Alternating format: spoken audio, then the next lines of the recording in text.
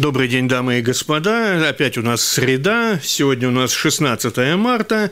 И наша сегодняшняя программа посвящена опять э, производству, производству в Латвии. Сегодня мы будем говорить о производстве товаров для красоты, о всевозможных косметических продуктах. Эти продукты производятся здесь, в Латвии, э, в том числе из латвийского сырья, а продаются они за пределами нашей страны. В гостях у нас владелица компании Bio2U Рита Стражинская. Здравствуйте, Рита. Здравствуйте. И Байба Шмидте, менеджер по маркетингу, руководитель этой службы компании Цита Лето.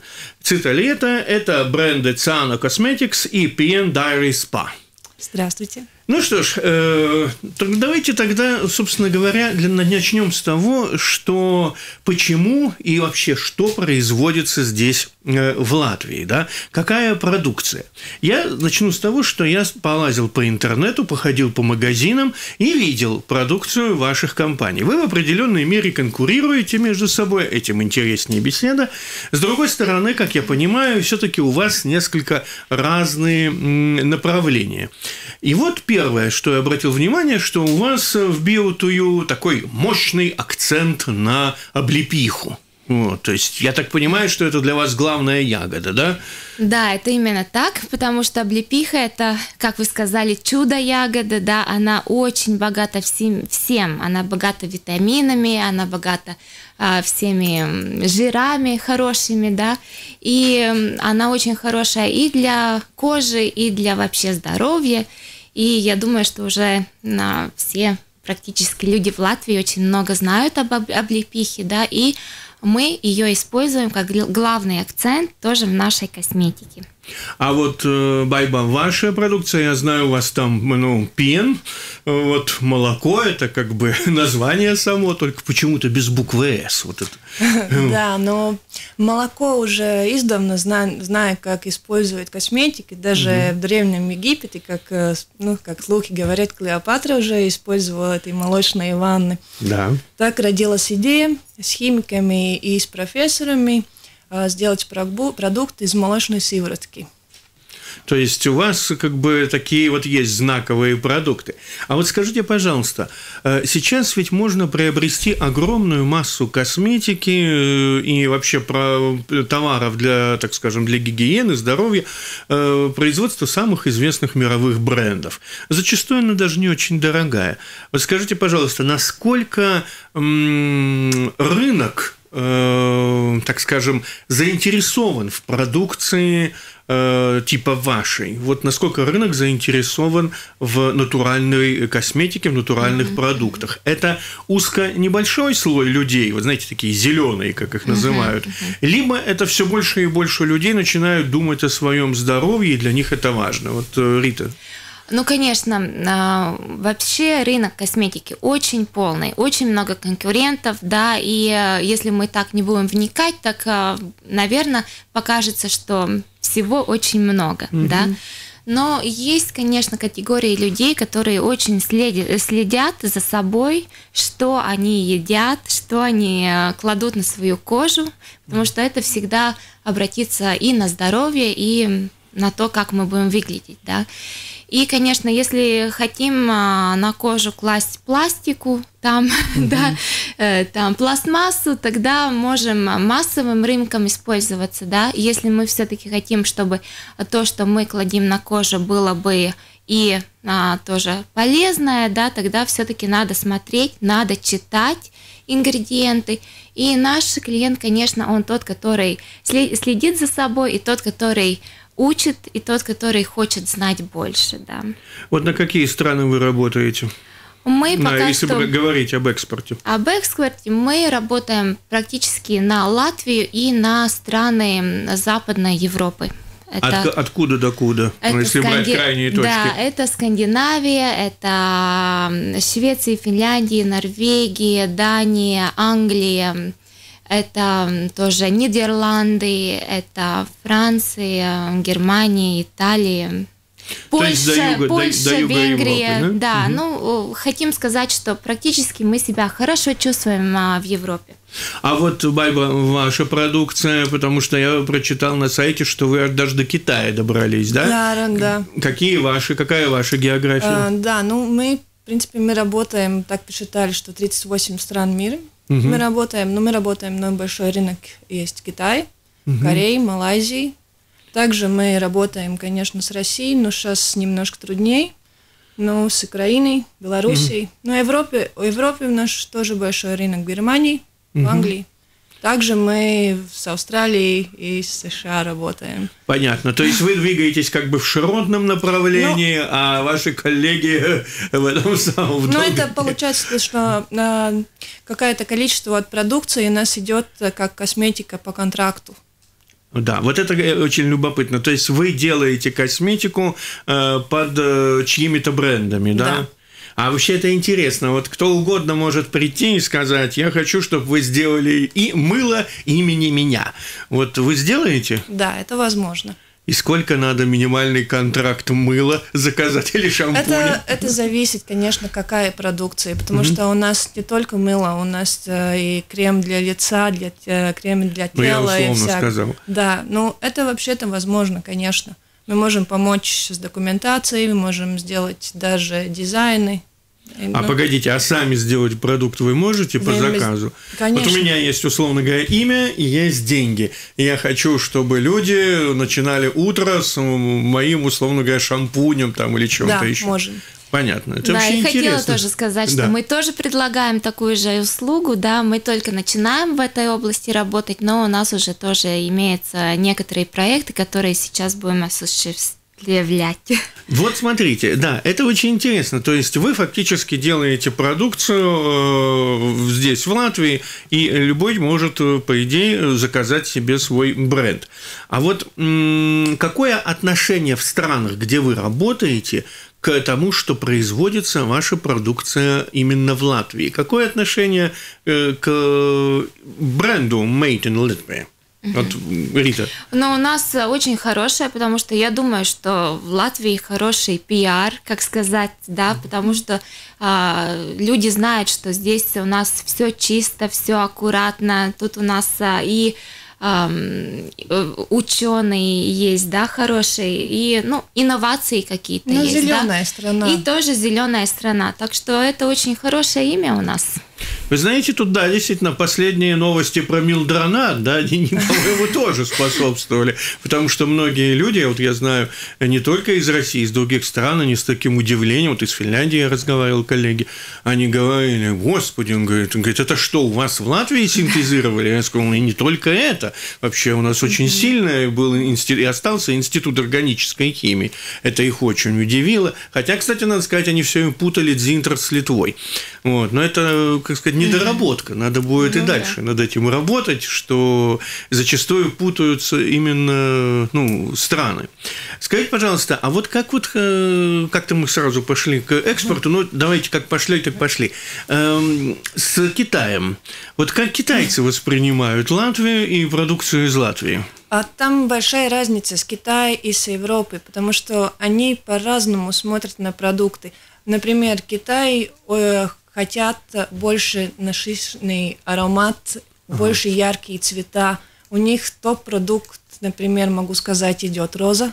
Угу. Это им нравится во всех продуктах. Ага. А Европа с, хотят не такие яркие дизайны, не такие крепкие ароматы. Так что это очень большая разница. То есть один и тот же продукт, ну, по да. большому счету, должен быть оформлен. Да. И, то есть, условно говоря, разное количество душки вот этой ароматизатора нужно налить. Да, они хотят больше. Да, и то есть очень ярко так, да? да? Вот. А имеется разница между Китаем или, например, той же Малайзией какой-нибудь? Потому что все-таки Малайзия это уже не Китай, это мусульманская ну, там не страна. такая большая. Ну, в принципе, есть так, если мы делаем продукт по контракту, да, угу. тогда мы пробуемся этому рынку. Угу. Они сами лучше знают, какие у них продукты лучше идет, и мы, мы можем быстро реагировать и сделать такой продукт, который они хотят. Угу. Так что там не такая большая разница, но очень большая разница с Китаем и Скандинавией, например. А, вот давайте Скандинавию. Они... Да, вот очень хорошо. Мы затронули Скандинавию. Рита, а поскольку у вас да. вниз к Европе, как вы чувствуете разницу между Скандинавией и той же самой Италией? Ну, Скандинавия, конечно, она очень близка к нам, да, и по дизайну они такие, ну, как сказать, э, ну, как тоже сказала, да, Байба, правильно, что они не хотят, они не любят яркие цвета, очень, они хотят все более натуральное, да, и э, к ним очень подходит наш дизайн, они прямо вот наш чувствует, как мы э, бы от них mm-hmm. были, да. Конечно, французы, они хотят что-то более модное, что-то, что-то, чтобы более там крик был в этом, да, uh-huh. такой моды. Но тоже в Франции тоже есть же свой слой, который тоже очень зеленые люди, которые хотят натуральное. Так что ну, мы пока что э, не различаем свою продукцию под рынок. Мы угу. идем со своей продукцией и поставляем ее ну, на нашего клиента тоже в тех странах. А в Италии, Италия, могу сказать, что Италия, Испания – это уже даже и не Франция. Э, да. Там все таки Средиземное море, свои взгляды на жизнь. Вот, э... Но Италия – это очень зеленая тоже страна, она угу. тоже очень-очень славится тем, что она а, даже очень продвинутая в среде натуральной косметики, да, и они очень понимают а, все эти ингредиенты, которые мы используем. Так что в Италии мы тоже себя очень хорошо чувствуем. Да, ну, а итальянцы вообще, они знают, что такое облепиха, кстати, вот интересно. Вот вопрос. это было очень интересно, они не знают, да, чем мы идем ниже, а, в юг, угу. там люди все-таки не знают, мы облепиху очень хорошо знаем на севере, угу. а, даже до Германии, Англии тоже, кстати, знает вся Скандинавия, конечно, Россия обязательно, да, но юг не знает. Ну тогда югу мы просто должны рассказывать все, что это что хорошее. Что там где-то на севере у нас растет да. на берегах морей вот Они такая даже, ягода. А, облепиха даже и растет на юге, да. Она угу. вообще, она ее же а, внедрил, как сказать, Александр Большой в Греции. Великий, да? Да, да угу. так, что, так что она оттуда выросла даже, да, как можно сказать, но угу. все-таки сейчас пока что ее там не знают. Ну да, это интересный момент. Вот скажите, пожалуйста, мама, вернувшись э, к Китаю, э, какой вот фактор размера, вот очень интересен. Я посмотрел, какой сейчас вот на какие типы размеры, как все разливается. Э, китайцы, они предпочитают брать э, большое, ну, условно говоря, с большой упаковкой. Вот, например, американцы, у них страшные упаковки молока, например. Нет, э, упаковка Или не наоборот, все такое. Нет, упаковка такая же, как нам идет в Европе. Угу. Может быть, там дизайны могут быть другие но они не берут э, многое количество всяких разных ароматов. Угу. Они конкретно знают, что они хотят и какой аромат они могут продавать в рынке. То есть, условно говоря, вот он один есть популярный, и слава богу. Ну, да? как я упомянула, это роза, это топ-продукт, им нравится. А вот эм, пен, вы отправляете молоко туда? Нет, не отправляем. Угу. Мы э, говорили с Индией, угу. например, с пеном, потому что у них тоже эти коровы святые. Ну да, да. Но они э, там еще не понимают этот запах сыворотки, потому что угу. продукт, э, у него запах э, сыворотки. То есть так он натурального он натурально вот запаха, пахнет, да? Да, натуральный сыворотка. Ну, это на любителя. Он, им, да, это на любителя. Потому и продукт, продукт очень такой специальный. И, ну, и они как-то им нравится, все им нравится, но запах у них они еще не понимают. А, ну это, как сказать, это, это, это идет... работа э, на специфического такого нишевого да. потребителя, да? Да. Но это, знаете, очень напоминает ситуацию с э, сыром, да, вот который покрыт плесенью, тот же самый mm, Рокфор. Да. Э, люди, которым дают его первый раз, которые никогда с ним не сталкивались, вообще-то первая реакция, что ты мне дал. Многие люди не любят оливки, ну, маслины, потому что они тоже не понимают их вкуса. Я имею в виду людей не из Средиземноморского региона, а жители, например, Европы, когда увидят, как э, азиаты могут поедать свежих личинок, например, они хрустящие, вкусные такие, да, вот, жители европейцы стараются тут же выскочить из-за стола и убежать как можно дальше. То есть это вполне понятная вещь. И вот это как раз меня удивило, потому что я подумал о том, что действительно есть вот такие продукты, особенно животного происхождения, которые вызывают у многих людей такое напряжение. Ну, он очень натуральный запах. Да, ну, да, вот в том-то и дело. А скажите, пожалуйста, вот вы упоминаете, обе упоминали слово зеленые, да? Вот. А вот как вот у нас в Латвии, э, как вы в Латвии распространяете свою продукцию? Ну, в смысле, не то, что там в магазинах, это понятно, а вот именно как э, наша публика относится к этим продуктам. Вот угу. с облепихи начнем. И ну вот у нас уже очень-очень, э, как сказать, знающий человек в Латвии, да, угу. он уже хочет читать, он уже хочет, э, хочет э, знать, что он, э, что, он, что он делает. Потому в Латвии получается уже намного легче продавать, потому что люди хотят знать, что они там пользуются чем, угу. да. Вот, но тоже есть вот такой тренд сейчас а, намного больше появляется уже веганной косметики, да, что чтобы не использовалось ничего из животного мира. Ага. Вот, и наша косметика соответствует тому, да, мы не используем никакие ингредиенты. Вот это очень интересно. Вообще, эта тема большая, вегановая косметика. Да. Я раньше думал, что вообще шампунь не пьют. Это, вот. это очень популярно сейчас. Да? Да, это веган, вы знаете, популярно. вот у нас сейчас буквально через несколько минут будет рекламная пауза, да, ну еще нет, но через несколько минут. Мне просто не хочется начинать эту интереснейшую тему, да, э, и при этом прерывать ее, потому что это действительно очень э, любопытная, любопытная вещь. Я хотел бы тогда вот такой короткий вопрос задать, который касается э, объемов сырья для вашей э, работы. Как я понимаю, с молоком у нас в Латвии в порядке все, да? да? Там проблем нет. Вот. А какие запасы облепихи? Не обдерете ли вы всю облепиху, которая есть в Латвии? Ну Рита. так, с облепихой, с облепихой очень сложно, да. Мы используем экстра, экстракты облепихи, которые угу. мы покупаем в Латвии. Угу. Мы используем тоже сок, яблоко из Латвии, э, не яблоко, но э, сок угу. из облепихи, да. Вот, но э, масло облепиховое мы не можем закупить в Латвии, так как в Латвии его не вообще производят, производят да. А, допустим, где он, кто у нас крупнейшие производители? Самые крупнейшие производители в Финляндии. Угу. И что происходит, что в Латвии у нас очень многие люди а, растят облепиху. Ну, так да. они просто собирают ягоды и продает ее в Финляндии. И потом мы ее покупаем обратно из Финляндии уже в масле. понятно. Ну а если, допустим, с молоком все в порядке, то для Циану Косметикс вы, очевидно, тоже закупаете и в Латвии, некоторые, и за границей, да? Некоторые мы закупаем, конечно, в Латвии. Угу. Если, например, есть продукты, где используется мед, ага. это мы покупаем в Латвии. Но есть некоторые серии, конечно, которые мы покупаем за рубежом. Успокойте меня, в Латвии много меда? Ну, хватает. Для нас хватает. Для нас хватает, да.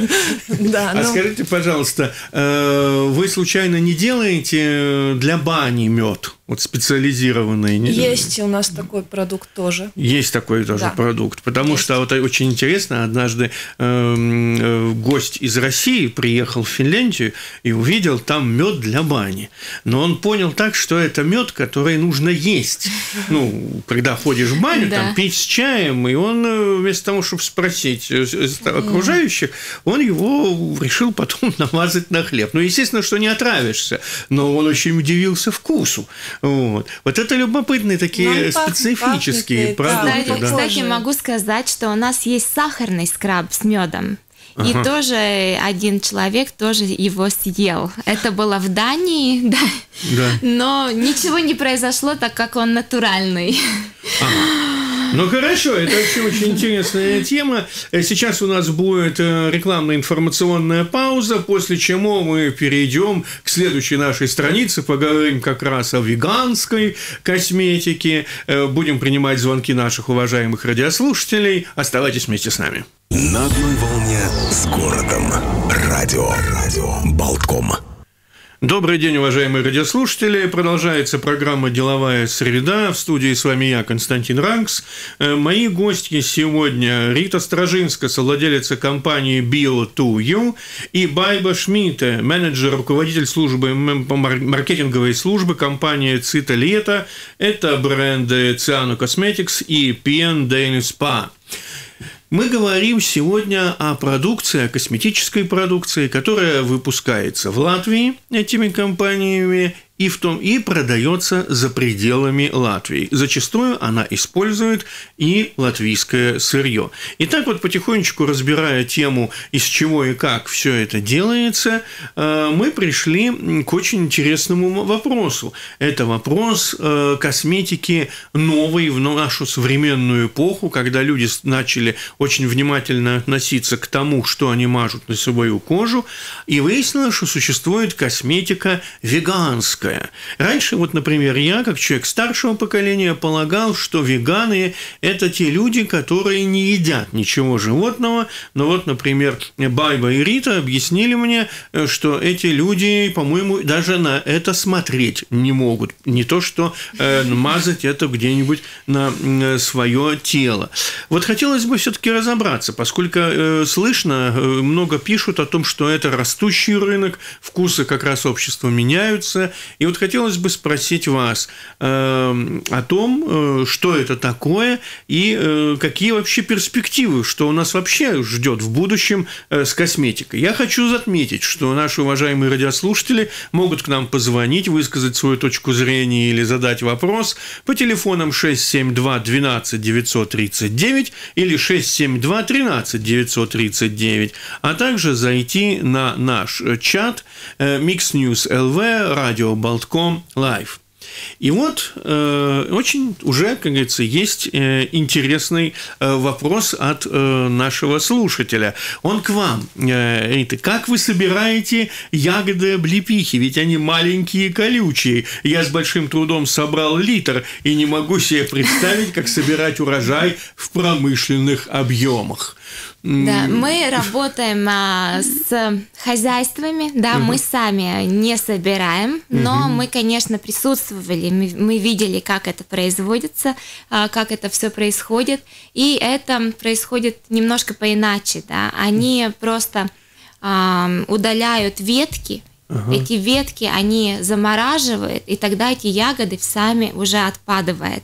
И тогда сто процентов можно собирать все ягоды, потому что кожа этой маленькой ягоды, она такая чувствительная, что 50% э, она просто выливается, если мы ее будем собирать от куста руками. Да, вот потому такое используется Интересно. Вообще-то, знаете, я подумал о том, что это означает, что нашему слушателю можно рекомендовать в следующий раз отправляться на сбор ягод облепихи с баллоном жидкого азота.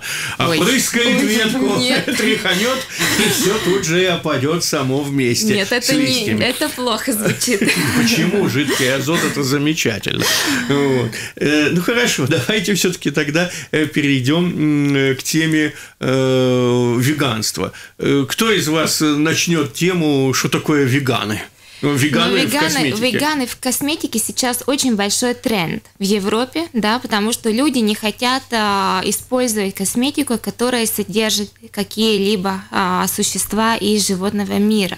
Это не означает, что мы не едим мясо, но это ве, э, тренд веганов означает, что они не хотят использовать на коже никакие такие продукты да, и наши продукты соответствуют эм, этому тренду. Угу. Мы не используем продукты животного мира в нашей косметике, но у нас есть некоторые продукты, как, например, угу.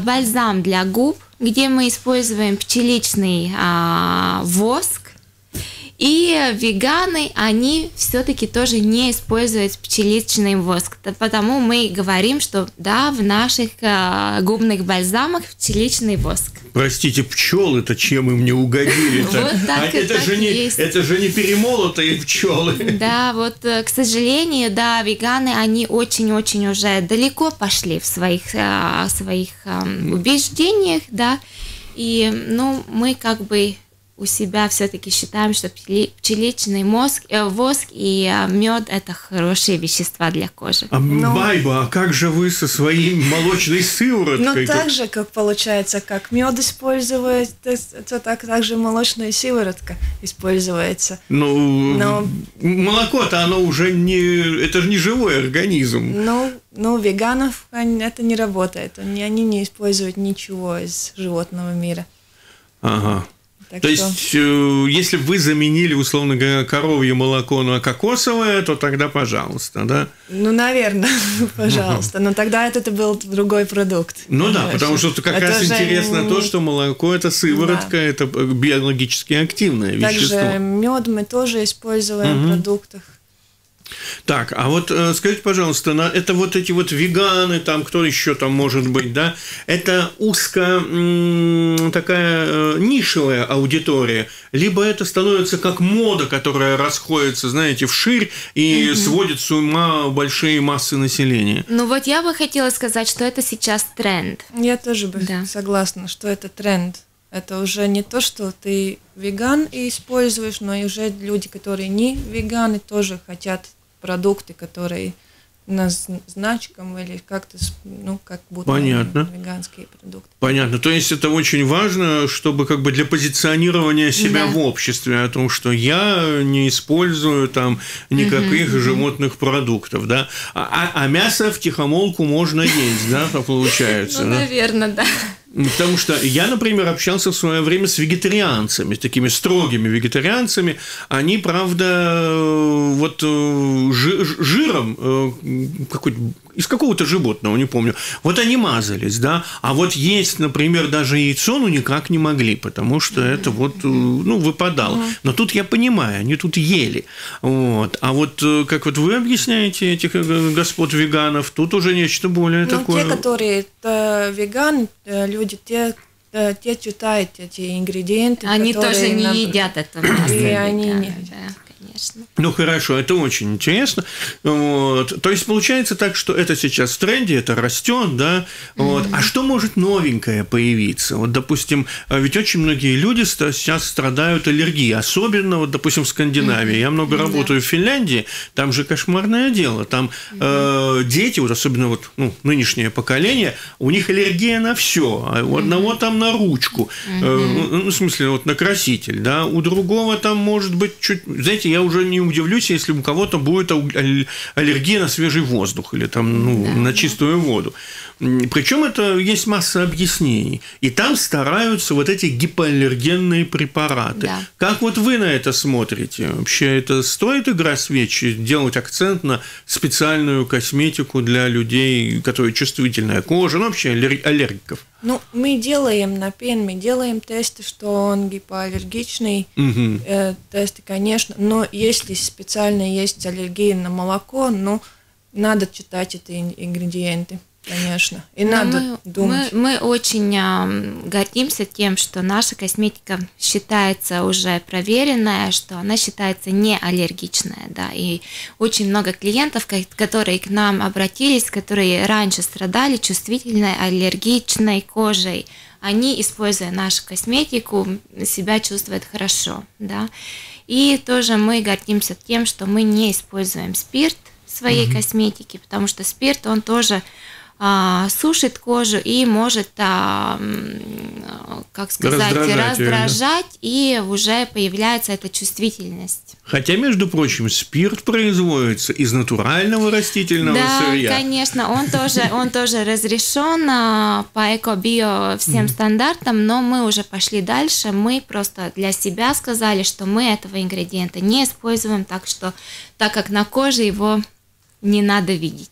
Давайте сейчас перейдем к технологии все-таки. Вот. Скажите, пожалуйста, э, сложно ли, например, сейчас э, при таком, как вы сказали, тренде находить для вашего производства натуральные э, препараты?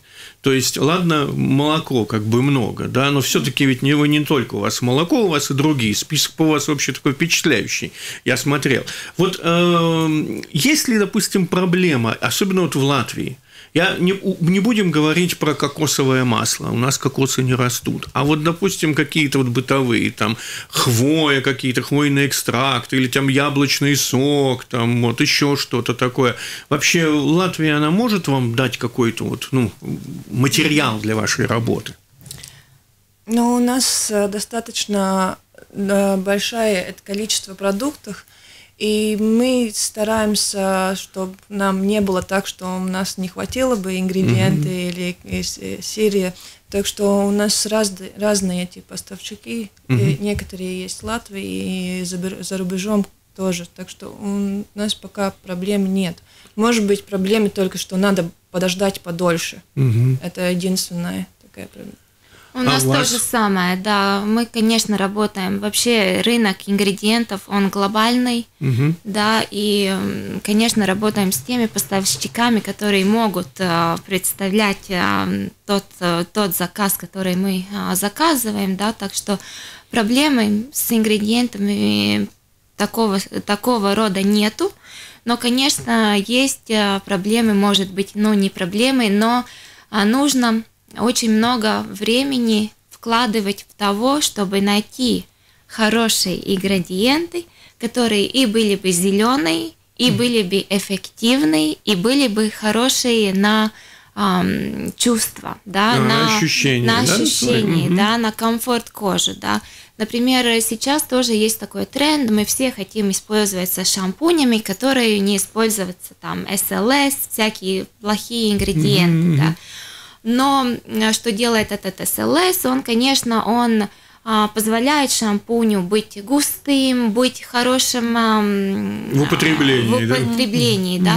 да. Потому мы не хотим такие ингредиенты использовать, мы хотим а, подобные которые были хорошие в составе, да. Ну, и тогда, конечно, нам сложнее эта работа, потому что намного легче было бы э, взять этот ингредиент и поставить в нашем шампуне. Скажите, пожалуйста, э, ингредиенты – одна сторона дела. Вторая сторона дела – это люди, которые со всем этим работают. Вот скажите, пожалуйста, а как у нас со специалистами в Латвии, с которых вы можете, так скажем, использовать на своем производстве? Байба. Ну, специалисты Латвии, я бы сказала, что может быть недостаточно химиков Латвии. Угу. Это единственное, что я могу сказать. То есть в Латвии что... нужны химики? Они как будто не, не, не так много компаний надо, да? есть, где они могут работать, конечно, я тоже это понимаю, но ну, если найти хороших химиков, это достаточно трудно. Например, да. в Латвии у нас даже нету такой специальности ни в каком университете, чтобы готовили технологов косметики. Да. Например, в Вы Италии, меня шокируете. в Италии там даже есть, а, можно поступить э, в университет и стать технологом именно по разработке косметики. Да. В Латвии угу. такого нету. Значит, у нас простые косме... Э, химики, которые тогда приходят в наш или в другой какой-то завод, и там они учатся, Ой. да. И там это, конечно, очень плохо для нас, потому что нужно использовать знания, которые мы получаем за рубежом. Угу. И ну вот этот, да, надо, надо посылать своих специалистов, тогда уже учиться куда-то. То есть, по большому счету, можно сказать так, что те молодые люди или вообще те люди, которые получают химическое образование, ну, химики, технологи, органики, очевидно, в первую очередь. Я уж не говорю про такие экзотические специальности, mm-hmm. как там химик-косметолог, да, вот. Они, в принципе, здесь, в Латвии, могут найти работу. Ну, они академические химики, да. Если он просто с образованием химика – тогда он, конечно, не, могут, не может разрабатывать косметику. Mm-hmm. Да? Значит, этот рынок у нас этого очень-очень маленький. Ну, знаете, я о чем э, думаю? -то? И как раз э, было бы интересно, что все-таки смотрите, вот э, я думаю, что если бы мы сюда решили пригласить всех э, руководителей или представителей компаний, которые в Латвии работают в области косметики, то вряд ли бы у нас здесь места хватило, потому что есть еще Конечно. и маленькие совершенно фирмочки, есть побольше, есть которые вот ваши прямые конкуренты, да, есть которые как бы чуть сбоку стоят, там что-то такое делают, там лечебное. Но в общем-то получается, что у нас как бы есть школа, есть определенный да. тренд такой, да, и в принципе Латвию можно же раскручивать как страну с глубокими химическими традициями. Это, например, мало кто даже помнит о том, что здесь у нас на улице Кришьяна Барона стоит памятник Нобелевскому лауреату – 1911 года, если я не ошибаюсь. Вот. И сейчас вот мало кто назовет его фамилию, да? Вот. Но тем не менее, у нас есть традиции. Кстати, у нас была сейчас и попытка позвонить по телефону. Давайте, у нас есть буквально минутка. Алло. Алло. Здравствуйте. Здравствуйте, у нас не очень много времени, мы слушаем вас. Да, ну я тоже в свое время заканчивал химическую школу, химфак. Ну а смысл а, смысл учиться как бы на этого косметолога в Латвии, если, ну сколько вы дадите зарплату? Тысяча, тысяча двести евро. Ну, когда спокойно получаешь в той же Италии по две с половиной-три тысячи евро в месяц. То есть вопрос ну, э, как... цены труда, да? Конечно, нет смысла даже тут и идти и искать эту работу, это я вам скажу как специалист, потому что за тысячу лучше таксистом идти работать. А в той же Италии хороший технолог может дойти до 5-6 тысяч евро в месяц. Спасибо большое. Дай бог, дай бог, как говорится, всем такой зарплаты, да? да Но, конечно. тем не менее, очевидно, это же действительно очень важный момент. Это вымывает э, специалистов, которые... Вы вообще чувствуете напряжение о том, что вот ваши специалисты могут, что называется, взлететь и отправиться в Италию, например? Там и климат хороший. Ну, наверное, сейчас из Латвии столько много людей уже улетело, да, как Это, э, конечно, рынок, возможно. Конечно. Это, конечно, возможно. Но рынок у нас тоже, конечно, маленький, да, это надо понимать, угу. так что... Ну, с химиками это тоже достаточно долго надо учиться, и очень сложно учиться, конечно, что они, если ты так долго учился, конечно, они могут смотреть куда-то подальше. Подальше, да? Но ведь, наверное, ведь не только химики э, ну, нужны и важны. Ведь э, для того, чтобы создавать вот такой имидж Латвии, продвигать вашу продукцию, ведь нужны же еще, наверное, и люди, нужна какая-то программа. Может быть, э, вы нуждаетесь еще и в специалистов по продвижению вашей продукции. Вообще, я имею в виду косметологической продукции за пределами Латвии. В Латвии маленький рынок, деньги за, за границей, вы правы. Вот. Нужны такие специалисты? Ну, конечно, вот именно сейчас у нас есть конкурс, да, мы приглашаем к себе на работу экспортных менеджеров, да, мы хотим больше, более большой акцент ставить на экспорт, Угу. И вот именно сейчас у нас есть такая вакансия. Что... А у вас, э, вы тоже на вашем сайте написано, что в основном вы работаете за пределами Латвии, да? Да, мы уже, у нас уже опыт уже 11 лет, угу. так что мы, в принципе, больше, чем 80% работаем на экспорт. Угу. И, конечно, ну, экспорт и менеджеры у нас на работе. Но мы тоже иногда слушаем, смотрим и расшириваемся, и смотрим еще куда-то еще попасть, еще какой-то рынок. Конечно, нужен еще какой-то опытный экспорт-менеджер.